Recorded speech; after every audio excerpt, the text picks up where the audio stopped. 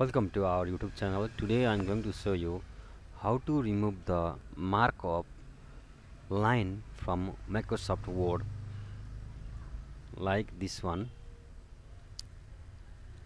You can see here all the markup here all the markup how to remove this type of markup from microsoft word. Please watch this video up to the end. Let's start now.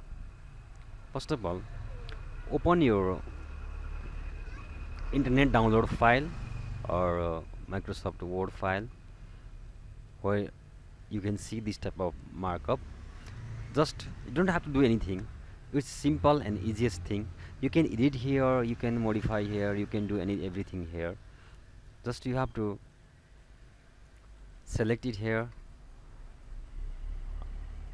Or if you don't want to select don't select it. Select it also. No problem just click it here and go to the review review.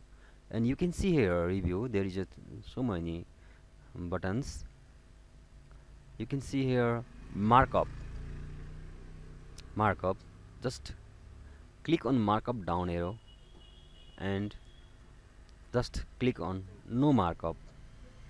Now the markup all are removed.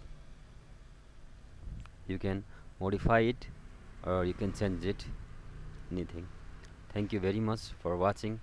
Please do not forget to like share and subscribe my video. Thank you